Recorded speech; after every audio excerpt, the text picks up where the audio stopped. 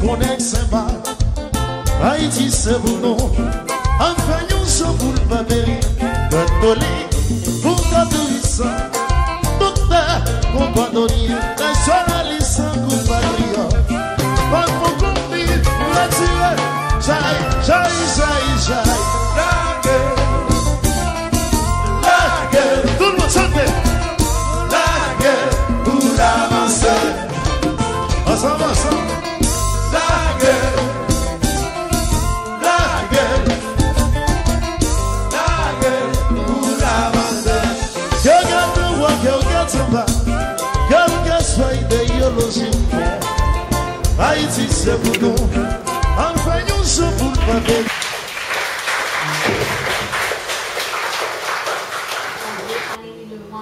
who's going to be talking about his book, uh, his books Face à Face autour de l'identité haïtienne, and also Facebook dialogues and conversations. Um, one thing that we talk about a lot at Haiti Cultural Exchange is identity, identity and culture. Um, and our role, and we feel like part of our role, is helping to preserve our identity, helping to preserve our Haitian identity um, here in the United States as, as a diaspora community. And so it's really important um, when we talk about Hervé's book and we hear what he's saying to, to kind of discover what our own identities are and identity as a community. So I think um, we're looking forward to a really interesting conversation. Um, for those of you that don't know, Haiti Cultural Exchange was founded about two years ago to develop and present and promote Haitian culture. And we've been doing that consistently for the past two years. Uh, we have a range of programs. We have programs for kids at PS 189 where we bring in artists to kind of uh, help preserve the heritage for the kids, for the kids that are growing up without necessarily having that kind of tie to the community that we may have. Um, we have this monthly program um, for adults where we bring in a person, like I said, of interest to the community. We have uh, performing, performing arts programs and um, music with music and dance. And so we're a multidisciplinary organization that really looks to promote the culture um, on a consistent basis. One of our goals is to have a Haitian Cultural Center in New York. We talk about this a lot. Um, we're not there yet. We're working towards that goal. And we hope that you'll join us um, by coming to events, by suggesting corporate sponsors or foundations that you think could support us, by really becoming part of the community. Um, we pride ourselves on being part of, on being community driven, on bringing people in um, and being part of the community. And so we invite you to join us. If you have suggestions for programs, please feel free to bring them. Um, we're always looking for suggestions for programs. If you have organizations that you think we should collaborate with, please bring them. If you want to volunteer, you want to intern, you know, feel free to use uh, See Haiti Cultural Exchange as your organization. That's really how we, we like to think of it. Um, what else can I say? I want to thank uh, Cassandra, who's our intern who works very hard on An n' Pale every month. I don't know where she is right now, but I still want to thank her. Sebastian, who's sitting in the front, who's also our intern from NYU. Thank you, Sebastian. Um, and I want us to give a warm welcome to Elvin, who's going to be talking about his work. Welcome, Elvin.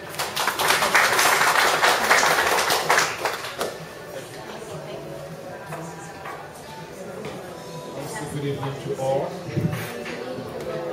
It's a pleasure to have you here. It's a big family, not only uh, most of you are Haitians, and also it's a big Facebook family because there are many faces that I have seen uh, befriended on Facebook, which has become one of the best place for people to make friends. And I have made so far 2,000 and I'm counting. There's somebody here who has more than me. And she's standing in the picture, right? I like to sit down. Yeah, I'm fine. thanks. Uh, over the years, I have an interest in uh, understanding Haitian behavior, Haitian society, Haitian politics, Haitian uh, literature, and everything about Haiti. And uh, for many years, I have tried to search and understand why Haitians are seen and why we are the way people see us, and also why we are the way we are. Uh, since 1804, what happened is one time a group of people they put together and they formed a nation, a new nation. And since after that, two years later, that dream has ceased to exist in the country. It's division here, division there. So, for one to understand what had happened, really, we have to go deep into our culture because culture makes people.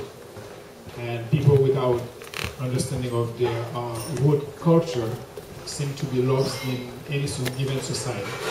And every new society has also developed a new culture. For example, we have a country very new, about three, uh, 300 years old. It's called the United States of America. And there were people from all over the world, especially from Europe and then from Africa and then from everywhere else. Today we talk about American culture. And Americans are very proud of their culture. And uh, it's something that although the world seems to get smaller every day, and the only thing we will have left to remember who we are is our culture. And what has happened in Haiti recently, over recent years, is we seem to have forgotten what culture, what is the meaning of culture, what culture is. Culture is usually what makes people, that gives you a tie, that puts you together. We can go someplace and uh, a complete stranger will see two of us in a different uh, area, and they say, oh, they are the same people. Either the way we walk, the way we talk, the way we dress, and uh, the, what we eat, that makes, that's part of the culture. Culture, culture is also uh, the literature, the folklore of one country, one society. And once we lose that, it seems like we are completely lost because we become completely somebody else. And after 1804, what had happened is uh, we had a big event that happened, many events that happened in Haiti, where church, the church itself, has diabolized or demonized Haitian culture. Why?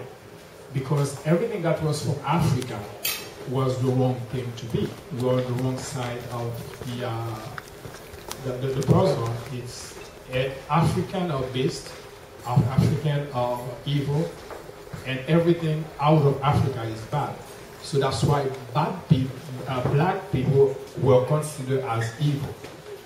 And in Haiti, since Haiti has the scar to have done, you know, this uh, revolution, to break human as slavery and change the world order. And we have suffered a lot for that reason. That's not the only reason that we are where we are. But definitely, if I have to take an account, I would say easily 70% the way we are because other culture have imposed their culture upon us.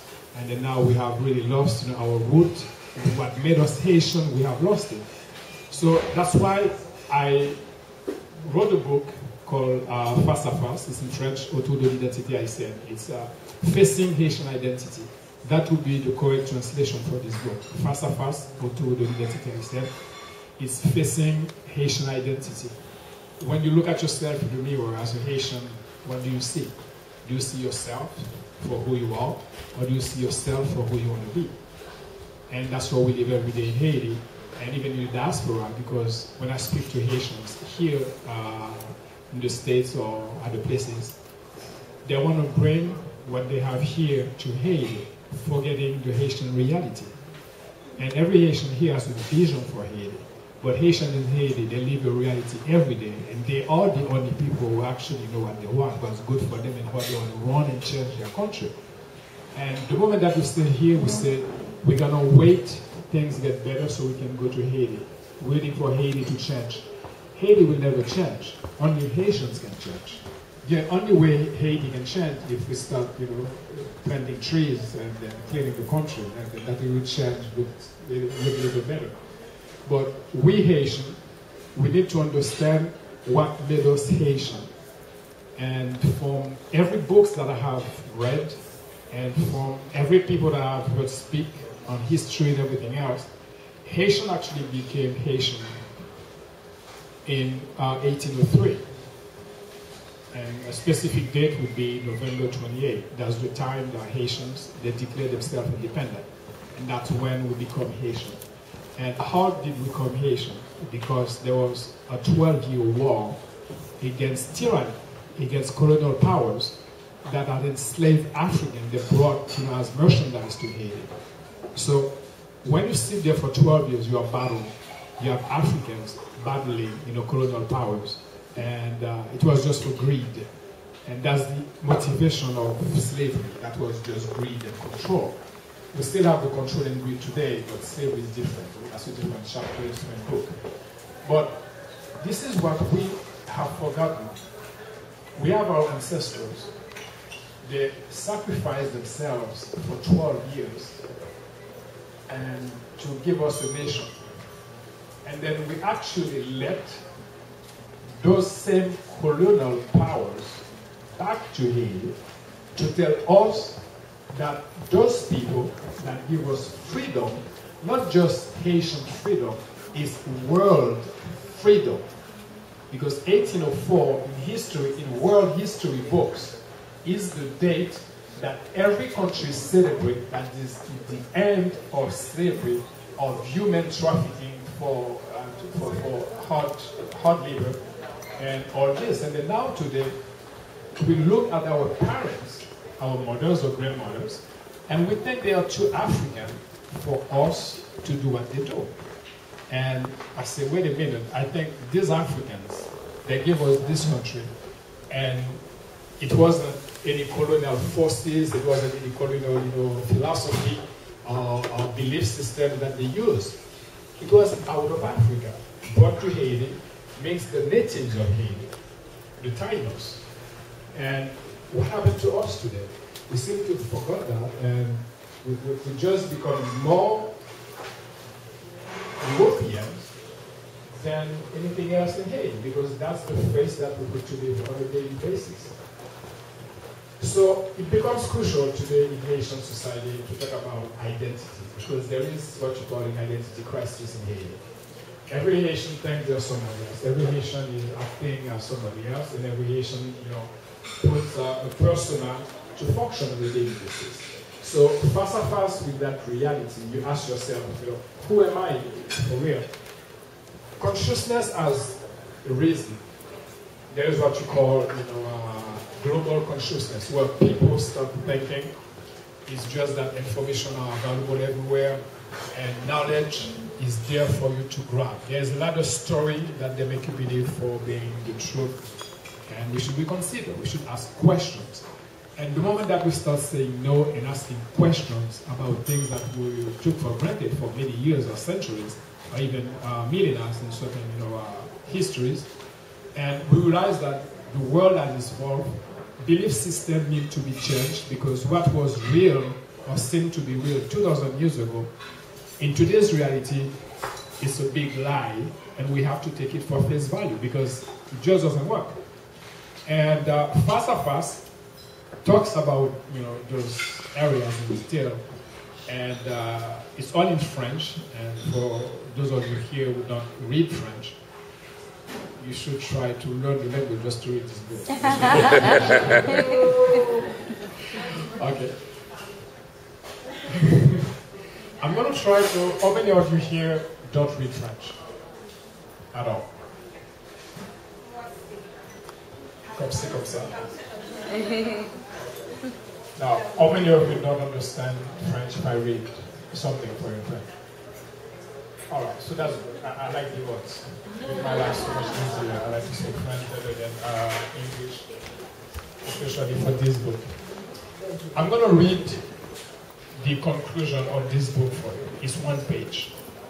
And that one page is the entire book as far as I am concerned. And it's uh, just one page. Okay, one page. That's the conclusion of the book, one page. 300 pages of writing. You read this, you read the entire book. Okay? Now, imprégné de fausses certitudes et de manque de foi. J'ai renié mes rêves et refoulé mes peurs, acceptant sans contrainte la culture de surface et l'idéologie de l'oppression. Je me crois invincible et je me crois tout puissant, jusqu'au jour où mes rêves et mes peurs me rattrapent et me dévorent. Malade de désespérance, je m'accroche aux pensées, aux pensées reçues d'une doctrine inconnue, étrangère à ma culture et basée sur une croyance. Une croyance contraire à mes origines ancestrales. Je fais la sourde oreille. Pour ne pas entendre la voix, la voix de ma conscience, je fais la sourde oreille. Alors même que cette voix n'a d'autre but que de m'éveiller. Rien que m'éveiller et me rendre la mémoire, mais je fais la sourde oreille. Je ne veux plus entendre, je fais la sourde oreille. En, revêtant les habits, les habits de l'oppresseur, j'arrive à fonctionner et à merveille je fonctionne. Je pense fonctionner. M'effondrant ainsi dans un abîme de résiliation, de désolation culturelle, à la dérive de ma personnalité, j'arrive à fonctionner. Je perds ainsi la connexion. La connexion qui me lie à ma vraie valeur. Je perds la connexion.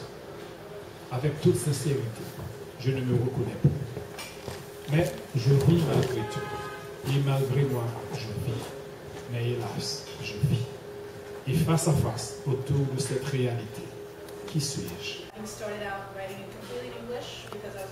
United States. Today, I write certain things in Creole, they come to me in Creole, certain things in French, certain things in English.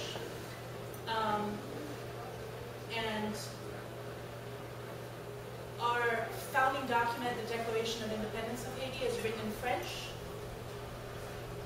but nobody can say it's not Haitian. Yeah, none of us write. So much of the, the first francophone literature in the world is, you know, meaning that it's not coming from France. Generally, francophone